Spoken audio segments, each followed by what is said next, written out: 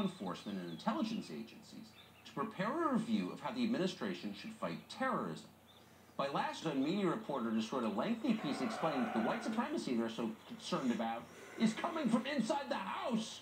Quote, NPR struggles to retain high-profile journalists of color. Hosts have complained to the network's leadership of pay disparities along racial and gender lines. Well, that sounds systemic and weird considering 99% of NPR's programming is about promoting equity. So what's going on here? Well, to investigate, we listened to many more hours of NPR. Here's part of what we heard. So diet culture is this overarching system of beliefs and values that's really endemic to Western culture at this point in history. Christy Harrison is an anti-diet registered dietitian with a master's in public health. so there was an anti-diet dietitian. Then, when we kept listening, we were introduced to a fitness expert who hates fitness. Listen. I was, and still am in a lot of ways, triggered by hearing the word fitness because even before you kind of get engrossed in fitness culture, you are inundated into diet culture and some of the toxic messages. There is a growing movement to make fitness culture a more inclusive one. Ilya Parker is a leading voice in that effort.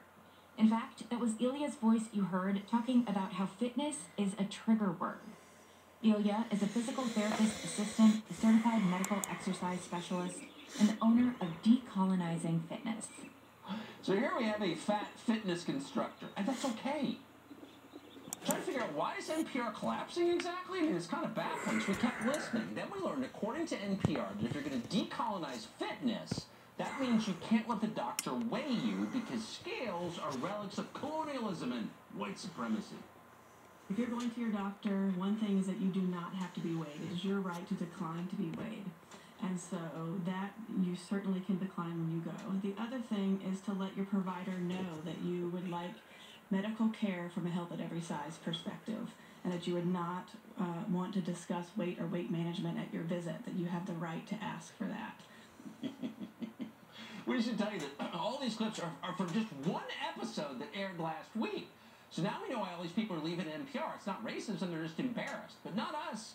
We're no longer going to criticize NPR. We're fans. We're going to keep listening. Nothing like this has ever appeared on the airwaves anywhere.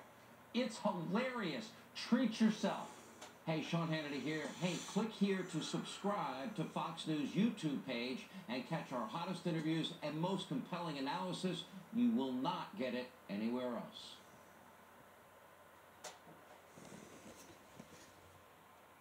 Calling on the party to support Hillary Clinton for president in 2024. Hillary is the best positioned candidate to win a national election, they argued. She's also, they noted, younger than Joe Biden. Former President Bill Clinton agrees with this, or says he does anyway. Bill Clinton told People magazine that his wife is, quote, the most qualified person to run for office in my lifetime, including me. In fact, failing to elect Hillary in 2016 was, in Bill Clinton's studied estimation, an historic national tragedy. Quote, one of the most profound mistakes we've ever made. Unforgivable, really. The good news is we now have a chance to correct that mistake. And you don't get those very often in life. Typically, when you do something rash or stupid, you've got to live with the consequences. It's probably happened to you. One night you're listening to Born to Run after too many drinks. The next thing you know, you've got Bruce Springsteen's face tattooed on your lower back. It's embarrassing. It's also permanent. Think of Hillary Clinton as America's national tattoo remover. She alone can erase the stain of our youthful bad judgment. God bless that woman. But wait a second, you say. Hillary can't win. She's yesterday's candidate. This country's got a short attention span. We want the new, new thing. And Hillary Clinton isn't new. She's been around forever. We're bored of her. Well, if you believe that, you don't remember Hillary Clinton very well. Call her what you will, but she's not boring. Hillary's like a box of Cracker Jacks or your emotionally volatile niece who goes to art school. She's full of surprises. You never know what you're going to get. There are days when Hillary seems like a sensible Midwestern Methodist who grew up Republican in a suburb outside Chicago. That's the biographically accurate Hillary Clinton. But it's hardly the only Hillary Clinton. During the years she spent in Arkansas, for example, Hillary often played the loyal daughter of the American South, a southern fried Dixie lady with a spunky feminist twist. That was the character she was portraying when we first met her 30 years ago this month. It was during the 1992 presidential primaries. Listen to her accent here. You're looking at two people who love each other. This is not an arrangement or an understanding. This is a marriage. That's a very different thing. You know, I'm not sitting here as some little woman standing by my man like Tammy Wynette.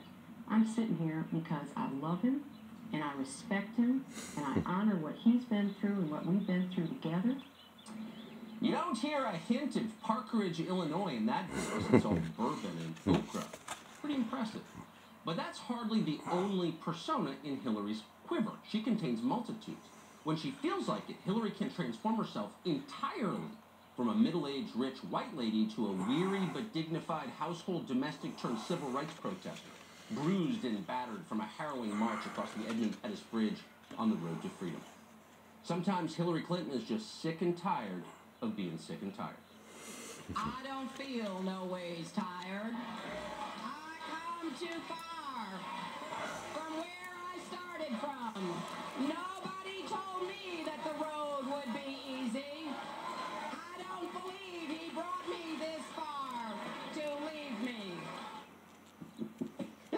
Impression. of course, there are other days when Hillary doesn't talk at all. That's in her repertoire, too. She just points her finger at you and cackles wildly like a mental patient on the subway. For the uninitiated, it can be a disconcerting experience. Is she casting a spell? Is she going to bite me? You're never sure. But her staff isn't worried. They think it's all part of her secret sauce. It's one of the reasons everyone loves Hillary. Here's the cackle routine. Wouldn't it be insane of you to run for office again? Is, is she sitting across from me right now? I don't know why that's funny. I mean, did you have any in-person briefings? I don't find it funny at all. How did you kill Jeffrey Epstein? It is. Great to have you here. Let me tell you how you really get to have your damn emails. But there are a lot of people who are not, Well, uh, including, including I mean, really, yes, it deserves a lot of laughter. No, she didn't kill Jeffrey Epstein. Remember all that? You're starting to see how the Hillary Clinton phenomenon began in the first place and why it could so easily rekindle. Hillary's political career was always a grassroots movement, a prairie fire, if you will. She had famously brought support from top DNC officials to several billionaire Democratic donors. Ron Burkle came out for Hillary. That's like winning every voter in the state of Ohio, at least from a fundraising perspective. So clearly she's got the mechanics down. How about the issues? What's Hillary going to run on? Come on, think about it. Libya. She's going to run on what she did in the North African nation of Libya. It's the one achievement of her life that's uniquely hers. Her husband had nothing to do with it. As Secretary of State under Obama, Hillary Clinton ordered the killing of Muammar Gaddafi. He was the bloodthirsty Libyan strongman who was also, let's be honest, creepy and weird and therefore deserving of death. Hillary had him offed. Then she laughed about it. Watch. That is the land of unconfirmed videos. We came, we saw, he died. did it have anything to do with your visit? No, I'm, I'm sure it did. Oh, we came, we saw, he died. Pretty funny. But then what happened? Once Hillary killed the leader of the country, how'd the country do? Well, let's see. We'll tell the story in pictures. Here's the capital of Libya before Hillary Clinton decided to introduce the Libyan people to a little thing we call human rights. The city looks fine. right. But underneath, there was no freedom. There were too few Soros-backed NGOs. She changed that. Now, here's that same city, post-Hillary. Those people in the foreground are African slaves. They're being sold as property in the now thriving slave markets in downtown Tripoli. No, they don't look very happy, that's true, but at least Gaddafi's gone, so on some level, they're free. They've been liberated by Hillary Clinton, despite the fact they're now enslaved. That's called progress. It's worth something. In fact, it's a pretty good campaign slogan. Hillary 2024. She'll do for us what she did for Libya. You can imagine the posters and t-shirts and coffee mugs. Somebody's going to need to get those slaves to sign a consent form. Put that on the list. But all of a sudden, Hillary Clinton for president starting to sound a little less crazy, isn't it? In fact, it's starting to sound inevitable. There are really just two questions left to answer. Why did Hillary lose last time? And who would she run against two years from now? Let's take the first question first. It's got the simplest, most obvious answer. Hillary Clinton was cheated out of her rightful destiny in 2016 because unseen forces of evil worked furiously to undermine her because they feared her strength and goodness. Come on, you knew that. Hillary Clinton certainly knows that. Watch.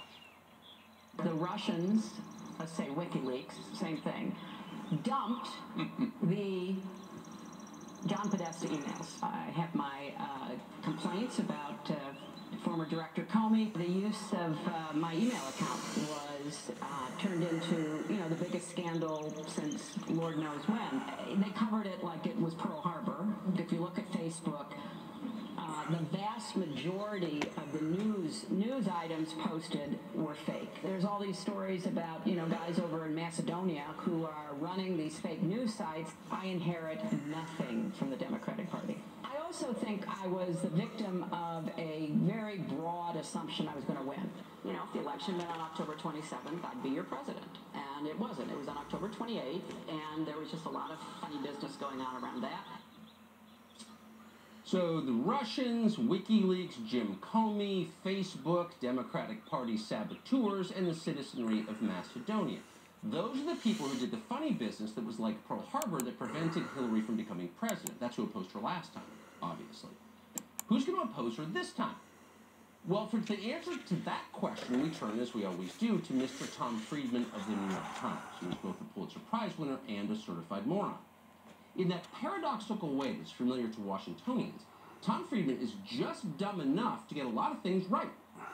If Tom Friedman thinks it, chances are a lot of other self-important mediocrities think it too. And those are the people who run this country. Yesterday, Tom Friedman wrote a piece calling on Joe Biden to replace Kamala Harris with Liz Cheney in the next election. Now, if you're not Tom Friedman or his friends, this might strike you as ridiculous. In fact, it might seem like yet another sign that our political class has reached peak decadence and exhaustion. If they're pushing a Cheney in the next presidential cycle, Oops. maybe they've run out of ideas. Well, of course they have. And that's exactly what gives Hillary such a natural opening here. As long as we're turning our politics into a 1990 sitcom reunion, why not get George W. Bush to run? It's not a crazy idea. He's got the time to do it. At this stage, Bush would much rather run with Hillary than against Hillary. They're personal friends. On most things, they agree vehemently. But having a Bush and a Clinton on the same ticket wouldn't work. It's just too obvious. Maybe W could be convinced to take one for the establishment and throw on the Republican jersey one last time. He's 75, but that is a full presidential term younger than Joe Biden, which by current standards qualifies as fresh new leadership. George W. 2024. Time to give the younger generation a chance. It might work. Or not. Just spitballing here. Either way, it is way past time to get Hillary back into the White House. The lady's got a speech to give. She wrote it five years ago for her inevitable inauguration. Thanks to the Macedonians, that didn't happen. But she never threw it away. She still got the speech. Last month, she read a portion of it on NBC News. Watch. I dream of going up to her and sitting down next to her, taking her in my arms and saying, Look at me, listen to me. You will survive. You will have a good family of your own and three children. And as hard as it might be to imagine, your daughter will grow up and become the President of the United States. Who's she crying for? Herself. In case you're confused by the context there, that was Hillary telling her deceased mother that everything's going to be okay because Hillary has been elected President of the United States. No more tears, no more anxiety. We're going to make it. We've got a woman in the White House. A lot's happened since Hillary Clinton wrote those words. It's a different country now than it was five years ago. But Hillary Clinton hasn't changed. Her primary interests remain exactly what they always were. She's still talking with endless and undimmed birthday. Yeah. Essence corn pop. It's just hyperbole. And that's why they have to keep saying it. I mean, no one needed convincing that 9-11 was bad a year later. For January 6th, however, never forget means we all literally would forget unless we make a big deal out of it every year. So now it's January 6th every day as Republicans engage in extreme attacks on our most basic constitutional right, voting. Which is why now Joe pushes a filibuster carve-out, which sounds like a new entree at Boston Market. Dad would know. But now you see the point of the January 6th anniversary. The Dems need an emergency to change voting rules. It's 2020 all over again. And like a serial killer's dog, the media happily played along, joining in on the hysterical messaging. Yes, the messaging. That's what it's all about these days. Gee, I wonder, is the media out of touch with people? a lot of the media does seem, when I look at it and, and then travel the country, to be very out of touch with people. If you travel the country, people are not really living in the same uh, bubble that it seems that uh, most of the media is messaging toward. I think this is an issue because if people are tuning out uh, what's going on in cable news, if we're not messaging toward uh, the general population, um, you know, they're, they're just you know, ignoring everything and, and living their lives, uh, and, and we're not really getting the information that they need to them. Look at that.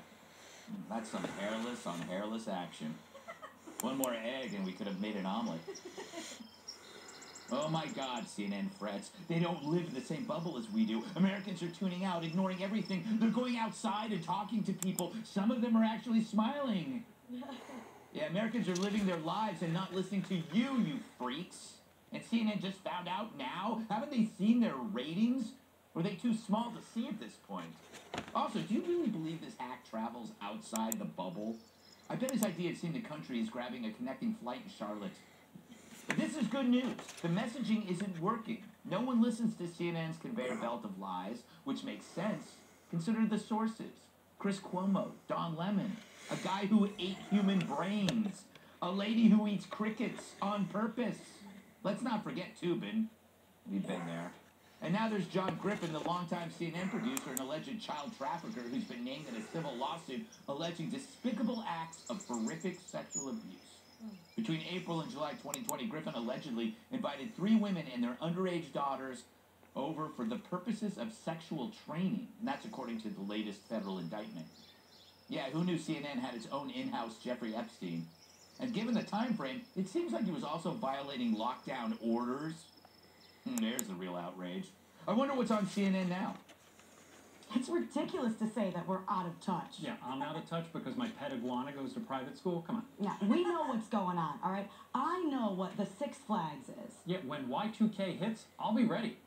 I tip my Guatemalan butler every time he brushes my teeth. Yeah, I mean, I unadopted my one-year-old son because he couldn't spell Green New Deal. And I always give thumbs up to homeless people. I mean, even in the winter when my thumb gets a little cold. You are an inspiration. You should be on Good Morning America. Hmm. It's an interesting point. So, so forgive us, CNN, if Americans don't really want any part of your messaging. You're kind of creeping us out at this point. You're the cable version of the guy who hangs out at the playground but didn't bring any kids. And when you ask him why he's there, he says something like, Hey, I've always been fascinated by the monkey bars. Oh. Then you ask him which kid is his, and he says, I wish they all were. Maybe that's why CNN was so wrong on Kyle Rittenhouse, because by 17, they've lost interest. but it's more than just their personnel. It's their hysteria conflict-based profit model. January 6th was just one example. While CNN and others gushed endlessly about their own PTSD, the rest of America was like, what?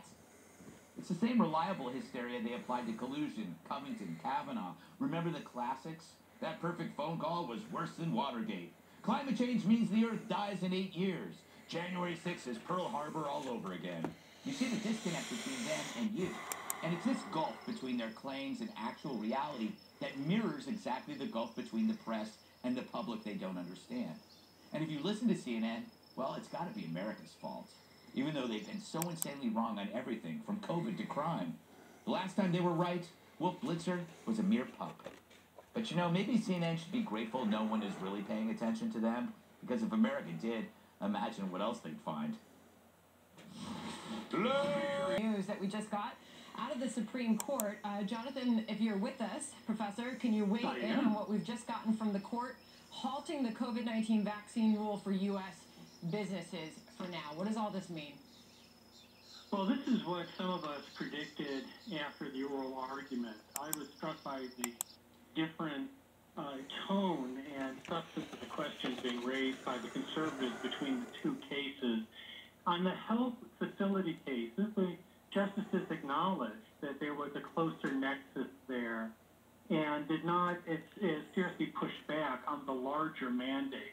It's really the OSHA case that is the more significant mandate for uh, the Biden administration. It was that mandate that President Biden's chief of staff, Ron Klain, uh, celebrated as a quote workaround. Uh, the White House could not get a mandate from Congress. Uh, they initially said that they thought they might have authority for the president to order a mandate, and then they acknowledged they did not. And then Uh, retweeted that we found a workaround. We'll have OSHA do it. And this could affect up to 100 million workers. Well, a flag was just thrown on the play. I mean, the, the Supreme Court justices continually asked for the authority that was being used here, and they referenced Ron Klain's statement. And as I said before, the, the justices are not into workarounds, you know, because it's a workaround constitutional authority. They want authority. And they kept on coming back and saying, where did you find this authority? Why isn't this a question for Congress to have ordered, not for some agency to do a workaround? Yeah, not, not, not surprisingly, Jonathan, Justice Breyer uh, in the purview of the Supreme Court and the courts to, uh, to rule on this. Well, they certainly made no secret of that during the oral argument. What I think they're going to get some pushback on is that all three justices made statements about the pandemic that were heavily criticized in terms of their factual understanding of where we are in terms of cases and and the virus. And of course, Justice Sotomayor was the one who was most criticized for giving a number that was 20 to 30 times higher in terms of the effect, the impact on children.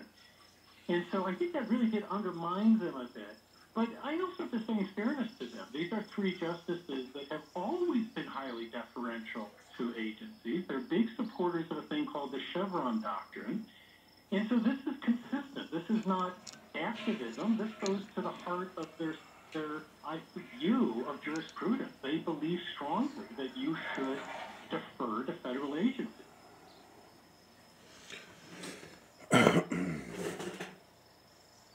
Developing stories, including Dr. Fauci's pathetic meltdown on Capitol Hill today.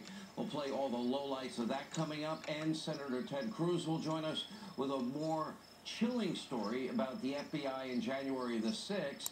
Uh, earlier today, he just brutalized an FBI spokesperson. We'll play you that tape, but first, we begin with Democratic activist Stacey Abrams. As you all know, Stacey Abrams still believes that she is the rightful governor of Georgia, that she thinks she won in 2018 after losing well, by nearly two points in Georgia's gubernatorial race. She never conceded, claiming voter suppression despite no evidence, and now she's running for what she believes is her reelection. And naturally, the Democrats' so-called voting rights legislation is one of her top issues. But today, when Joe Biden and Kamala Harris made a special trip to Stacey Abrams' hometown to tout this new legislation, Stacey Abrams was nowhere to be found. Apparently, it was some kind of uh, scheduling conflict. That's what we'll call it. Take a look.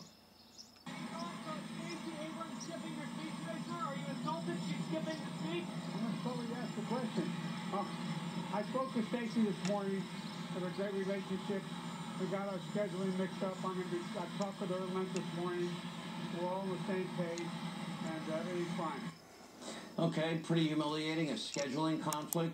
Now, is it perhaps that Joe Biden's poll numbers are so bad, Stacey Abrams refused to appear with the president and vice president of the United States or even meet with him behind closed doors and can't even be bothered to come up with a halfway, well, decent excuse? This is a pretty low point for Joe and Kamala, who are officially now toxic, even among members in their own party. Make no mistake, Biden's so-called voting rights legislation is also incredibly toxic and unconstitutional. Now, I spoke to Stacy this morning. Have a great relationship. We got our scheduling mixed up. I'm gonna be, I talked with her this morning. We're all on the same page, and everything's fine. President Biden insisting he and Stacey Abrams are still on the same team despite the nation's most prominent liberal voting rights activists' absence from his speech. Yeah, Joe Concha is joining us live on this uh, interesting turn of events. There must have been some scheduling conflict, Joe, that Stacey Abrams was up against. Yeah, Shimke, welcome back, by the way. We haven't seen each other for a while. I think even though we're 12 days in, we could say Happy New Year, so Happy, Happy New Year. New Good Year. to see you. I, I, I wrote about this in a column for, for The Hill yesterday. Uh, this is pretty easy.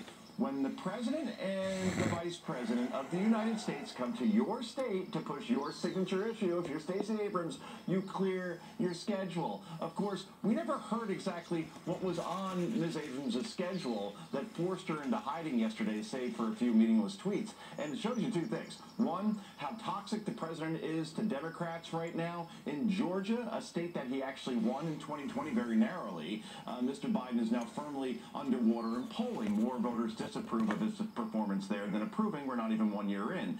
And two, it also shows you exactly how little confidence at this point Democrats have in Mr. Biden's ability to get this voting legislation over the finish line at this point. You can see now there is desperation within this White House because look at the priorities, right? Totally tone deaf. First, they focus on Build Back Better amid skyrocketing inflation and crime and the border being open and education going sideways, uh, all while saying, you know, with Build Back Better, it's going to, you know, add zero dollars to the deficit and while reducing the deficit, right? And the, the whole whispering thing. And, and, that's dead right now, right? Then this year they pivot to January 6th. Now the focus is on voting rights, an issue that is way down the ladder of priorities for the American people. And to Sean Duffy's point, if there is a massive number of people who want to vote but can't, I believe they would be all over TV or marching in the streets. Those people don't exist. It's the biggest non-issue of our time, Todd. Absolutely. From a whisper to a slam, here's Ted Cruz versus a podium. Watch. Just once, I'd You're like all to so a full of shit, man. Joe Biden when he stands at the damn podium Oh, in you're so White full of shit. mask, You just called freaking Americans terrorists the other day, liar. are only directed at one side, and I gotta say the American Ted Cruz is hypocrisy. fucking another liar. I- I mean, it's such a good point by Ted Cruz right there. Oh, It is yeah. good to Real good point. Called out for that Pretend that you're mad. Joe, will anything ever change? Of course not. And I've always wondered about this as well, to the Senator Cruz's point. Why does Jen Psaki, for example, wear a mask, or doesn't wear a mask in the White House press briefings, right? And, and I don't know if you've ever been to the, to the James Brady briefing room. Uh, it used to be a place where they had an indoor uh, pool there. It's profoundly small, low ceilings, everybody's on top of each other. Basically, it's perfect for COVID. A- And yet, reporters all have to wear masks, but the press secretary does not. And she got COVID despite being vaxxed and boosted a couple of weeks ago. So the same goes for the president, who will wear a mask nowhere within 500 feet of anybody on a beach alone in Delaware. But then, if reporters want to talk to him, he'll walk up to him, take off the mask, and then within Mhm. two feet talk to him, and then put the thing back on. Everybody's tired of this, obviously, at this point. And yes, only one party appears to be being called out on it, guys. Yeah, and the reason he was all fi- Ted Cruz was all fired up yesterday is because he was making a speech or he was, you know, making a comment about ending the filibuster, and a reporter asked him why he wasn't wearing a mask, and then you saw him slamming the podium. Luckily, no podiums were hurt in the making of this segment, Joe Concha. Thank you for joining us this morning. You haven't lost your fastball, Shem. Good job. Love it. Oh, he's Piro's going. influence like Keep this. going. You All have a right, good we'll talk to you later, Joe. Have a good one.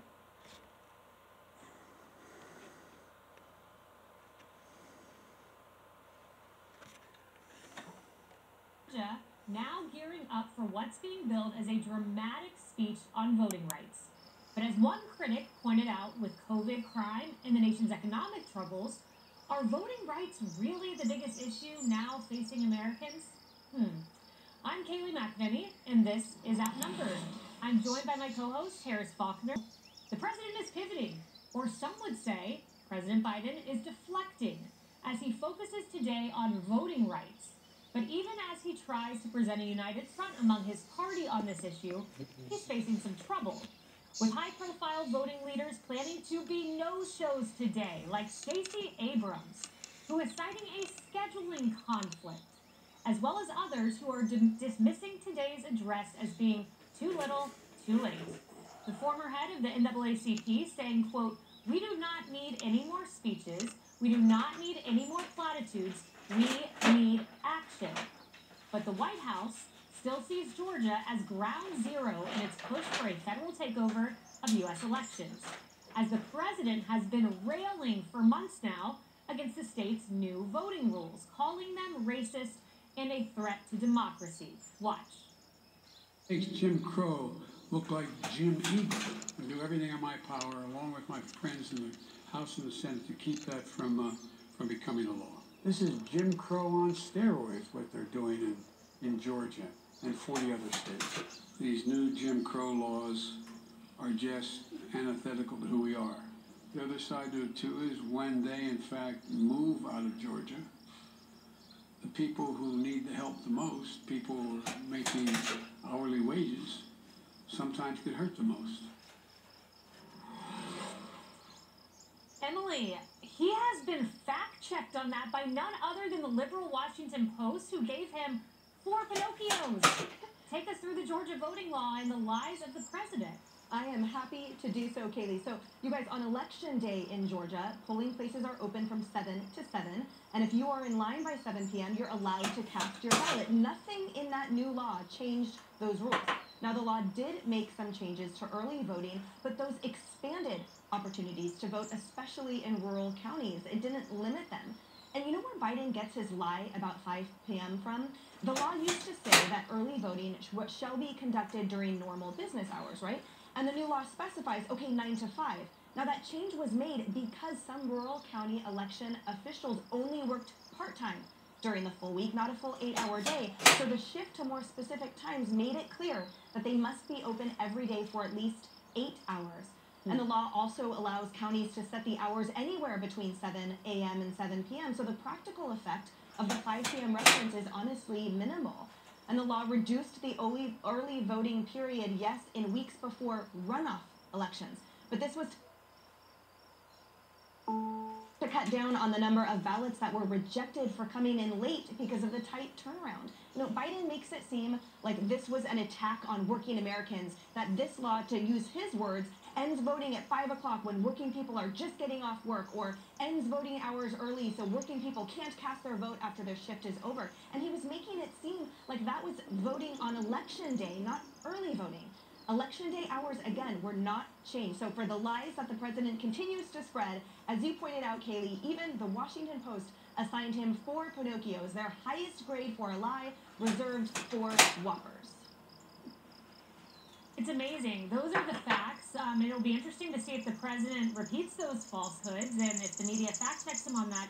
Harris, interestingly, when you go over to polling, it's really curious why Biden's making this his top issue because voters don't see it as a top issue. I mean, if you look at the top three issues, it's the economy at 68%, according to the AP, COVID 19, 37%, immigration, 32%. In fact, when Gallup did the issues most important to voters, there was an asterisk by the issue of voting, meaning it didn't even register as statistically significant.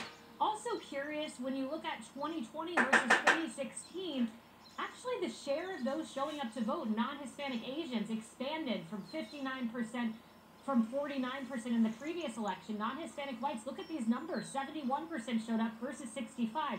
We had record turnout in 2020, so why is this the issue? Well, I, I think the White House needs to learn the actual meaning of current events. They, they didn't want to talk about Afghanistan when it was blowing apart based on policy and decisions of the current president back in late August, early September.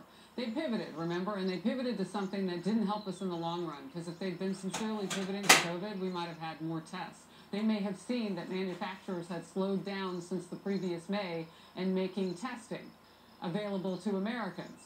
They, they might have seen that, but they weren't sincere in that pivot. And now they're doing it again.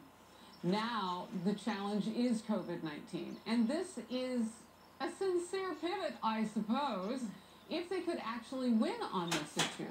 But it's complicated because the Major League Baseball All Star game moved from Georgia to Colorado, and then when it did, Democrats like Stacey Abrams, the former gubernatorial candidate who failed, realized, oh my goodness, that hurts black communities because all that money was coming in from the MLB, and Colorado has tighter early voting standards and restrictions than Georgia.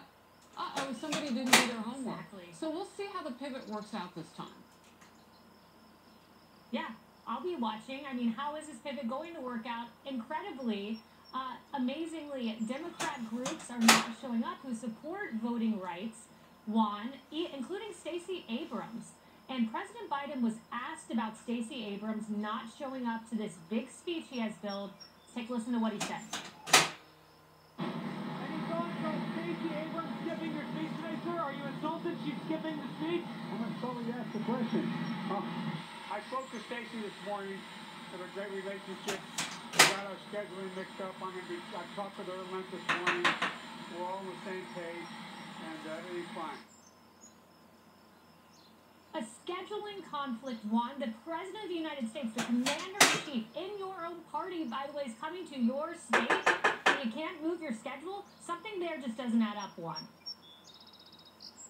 Yeah, I would think that she should make time to go to that speech because I think it's an important speech, not only for Democrats, but I think for Republicans. I think every American should support the idea that, you know, voting is sacrosanct in our democratic society. Everybody should be able to easily vote, and their vote should be equally counted. It shouldn't take two minutes to vote in a rural county, but two hours in the cities and suburbs where you have populations concentrated and lots of minority voters. You know, right now, we have lots of people who still believe Trump's big lie, and as a result, what we've seen is more than 30 states, you know, despite those numbers that you put up about increased turnout in 2020, uh, lots of states now, especially with Republican legislatures, have said, well, we're not trusting in the voting system because President Trump alleged that there was fraud. And so, despite the lack of evidence of any fraud, we're going to change the system. And in some cases, make it more difficult Juan, for Georgia- mail-in voting, limit time to vote early. Juan, the Georgia voting law, though, I, I assume you don't support that. Am I right? I don't, The I mean, Georgia voting law? that I don't support in total, especially the idea that the state legislature your now gets to decide who wins the Your election. party, That's crazy. certainly doesn't. Your your your party certainly doesn't support the Georgia voting law, but amazingly, in 2021, so this is after the law passed in the municipal election, turnout rose by 17 percent. Uh, the Atlanta Journal Constitution pointing out short lines, few problems, no obstacles at the polls, Carly. This despite Democrats loudly and vociferously saying the Georgia voting law would restrict voting. Yeah. And the reason President Biden, Kayleigh, is talking about this issue today is because he desperately needs some positive news coverage, and he usually gets it when he talks about election reform from the from the media, which is 95% uh, liberal. Um, the Biden administration is hoping that his speech today will be his white knight moment. There was an excerpt of what he is going to say in his speech that was released earlier today. He's going to say, we will choose democracy over autocracy, light over shadow, justice over injustice. I know where I stand. I will not yield. I will not flinch. I will defend your right to vote. So we're going to hear urgency like we've never heard it before. Some problems about that remark is that this is a problem that doesn't exist. It is easy to vote in this country no matter what state you're in. I know that because I've voted in this country um, and I've done it without a snack in line and lived to talk about it. The other thing is that I think the Biden administration is really blindsided this morning uh, when they woke up to criticism not from Republicans but from Democrats who say that they haven't gone far enough on this issue. And lastly, I think this is the most important point, is that I just wonder why President Biden is talking about election reform uh, right now when we're in a midterm election year, when this isn't going anywhere unless the filibuster rules change. And Kyrsten Sinema and Joe Manchin aren't on board with that. So he is going into midterms with uh, Build Back Better loss and quite possibly an election reform loss as well.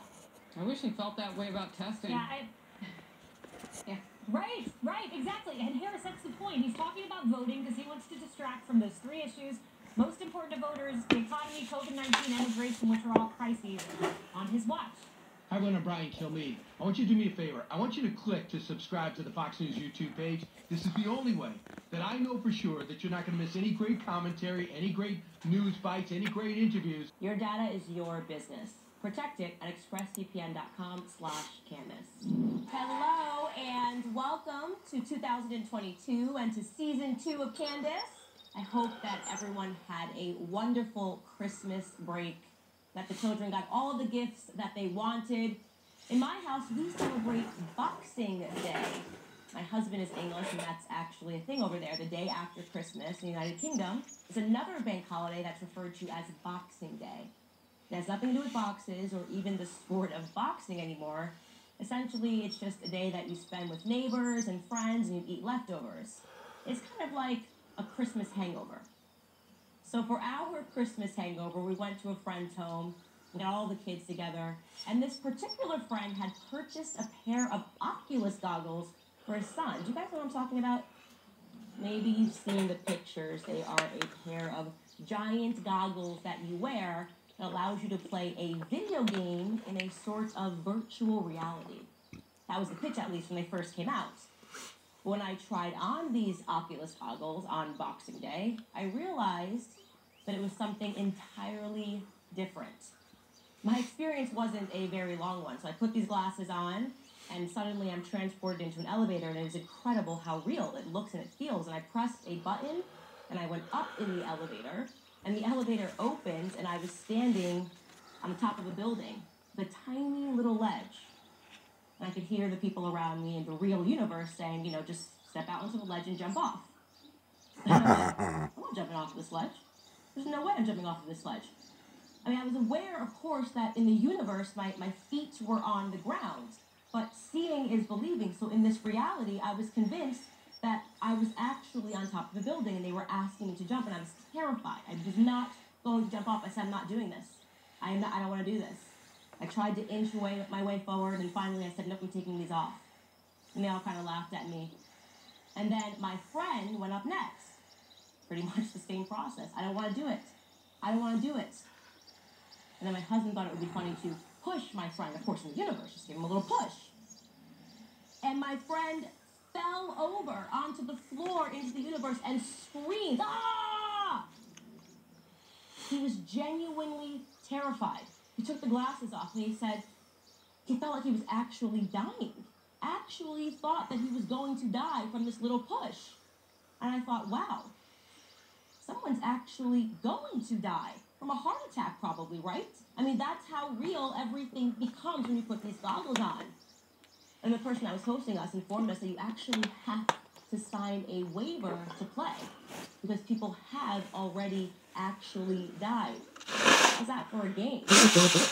and why am I telling you this? Because what we're talking about and what I experienced was the coming of the metaverse. You've heard about it. Facebook recently changed their name to Meta. I mean, everybody's talking about the metaverse. There was a tract of virtual land that sold for $4.3 million in the metaverse. And guess what? After what experience, I can tell you that that was actually a good investment. Snoop Dogg, the rapper, has a $17 million NFT collection. That's a virtual art collection. What do you do with virtual art? You're probably asking yourselves, well, you put it in a virtual world, in your virtual house, on a virtual plot of land. The second reason, the more important reason I'm telling you this is because it scared me. It scared me because I felt in my gut that I had stumbled upon a missing piece of this authoritarian puzzle. Think about it. All of the radical changes that we've experienced in society over the last two years, somehow it all just perfectly aligns with the coming of the metaverse. Social distancing, people afraid, genuinely afraid to see one another's faces. Mm-hmm. I mean, what better solve for that than to only communicate with one another via the metaverse? Just throw on a pair of goggles and meet up virtually. Come to my house. Do you guys see how important it is what I'm showing you here? Listening to this? national shutdown I hope somebody gets it. To combat COVID. Virtual learning established to combat a virus that has an approximate 0% chance of harming any child. It's also why you got to go to the rocks and the stones and the trees and crap like that because it's all going to get sold as a virtual reality. They're going to tell you you're living in a hologram. put on their goggles They're liars. And they'll be convinced, by the way, that they are actually in a classroom sitting next to their peers because that's how real it feels behind those goggles. Only this time their parents aren't going to have to worry about any germs. There'll be no need for parents to physically go into work anymore either. Just throw on a pair of goggles and be immediately transported into your office. isolation, and more technology. What we're talking about, what I'm trying to communicate to you, is that we are on the brink of transhumanism. Human beings are becoming the computers. I want you to think about that the next time you hear words like biotech. No, I want you to think about what I'm showing you. Is what I want you to go look at. I got to get your names up on the videos real quick. being fused with technology. What we are on the brink of is the next iteration of the World Wide Web, and it should terrify you. So, welcome to Web3.